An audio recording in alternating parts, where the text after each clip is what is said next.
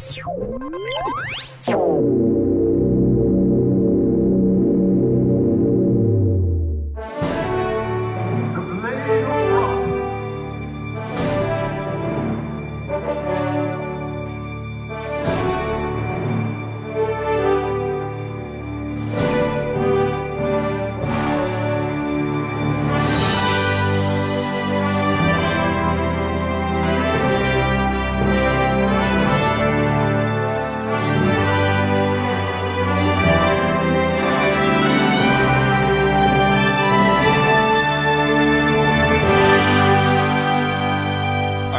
Ersten Science Me Wettbewerb, der ursprünglich in Genf gestartet ist, äh, im Jahr 2017 auf der Ideenexpo. Es ist ein Wettbewerb der Wissenschaftsshows. Die Kriterien sind natürlich nicht nur, dass es besonders spektakulär sein muss, sondern es geht auch darum, dass es didaktisch wertvoll ist, dass es also für die Kinder verständlich ist, was auf der Bühne passiert.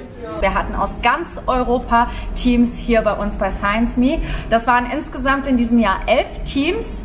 Und äh, die haben alle ihre Show innerhalb von zehn Minuten hier auf die Bühne gebracht. Und ja, dann durfte die Jury das bewerten. Wir hatten eine dreiköpfige Jury, aber das Publikum durfte auch bewerten und zwar in Form von Applaus.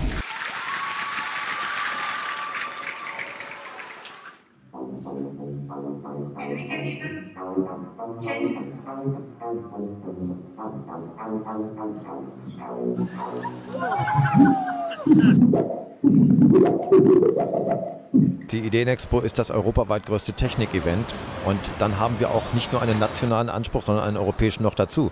Deswegen Science Me gehört zur Ideenexpo. Im Grunde genommen wie die Exponate, die vielen Besucher, sie sind gar nicht mehr wegzudenken. Science Me von der Ideenexpo.